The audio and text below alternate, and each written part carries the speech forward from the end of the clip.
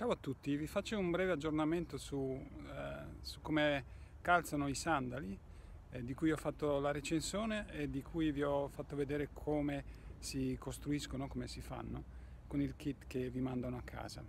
Allora, eh, vi faccio vedere che sono appena rientrato, vediamo come si cambia qua.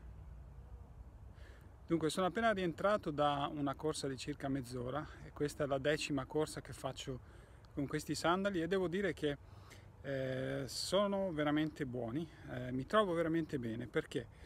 Uno non ho nessun tipo di infortunio, in queste dieci uscite non ho mai avuto un infortunio, soprattutto eh, l'infortunio al tendine, eh, questa parte della gamba qua, questa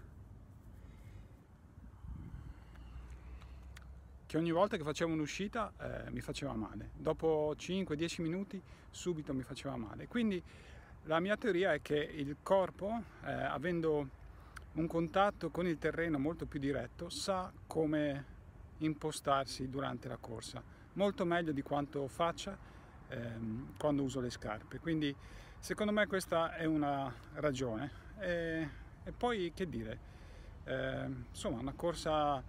Ehm, risulta un po' diversa da quella che si fa con le scarpe perché si sta molto più retti con il busto e si tende a tenere eh, sempre i piedi sotto, sotto, il tronco, insomma, durante il balzo, no?